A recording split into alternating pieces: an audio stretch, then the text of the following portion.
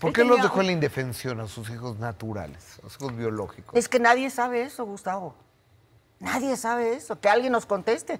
Los que estábamos ahí cerquita un tiempo, que fue mi periodo con él en los noventas, yo pensé que tanto amaba él a sus hijos, a todos, ¿eh? porque los amaba a todos, desde el junior, que por cierto estoy en contacto con él, con el junior, hasta el más chiquito. En ese momento el más pequeño todavía no nacía. Luis Alberto acababa de nacer en ese Inter de Lupe.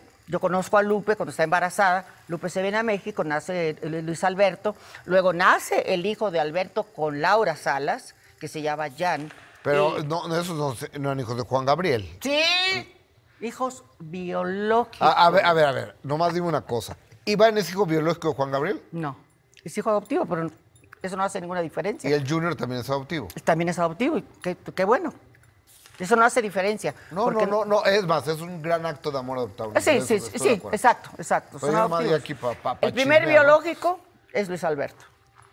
El primer biológico. Porque Lupe también era fan, porque lo ha dicho ella, y aparte pues, se le veía el amor que le brotaba por los ojos cuando llegábamos allá a Nuevo México. No, hombre, le salían el amor por los ojos.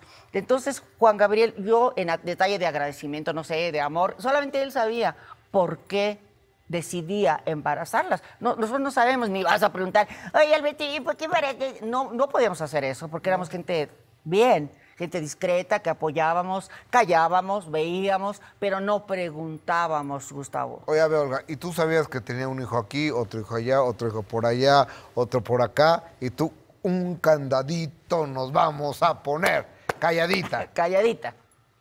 Que, imagínate que la amiga de confianza ande divulgando. ¿A quién le venía? ¿A quién le importaba?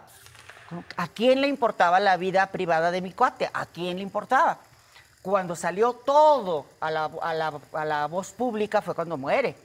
Ahí sale todo, porque mientras no muriera, pues todo estaba íntimo, privado, no escondido, privado. Entonces te digo, claro que supe de los tres hijos, claro que supe, claro. Oye, Olga, y, y ahora el violín, en vez de tocar la cucaracha, tocas otras cosas, ¿no? ¿Qué, qué tocas? Ahora toco alabanzas al Señor. Porque fíjate, yo lo que estoy haciendo en este programa, Gustavo, es lindo. Porque pocos artistas se atreven a confesar sus pecadotes públicamente.